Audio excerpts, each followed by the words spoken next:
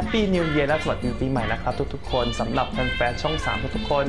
ยังไงก็ขอให้ทุกคนสุขภาพแข็งแรง มีความสุขและเพ่งๆนะครับ Wish you all the best for the New Year นะครับ สวัสดีครับ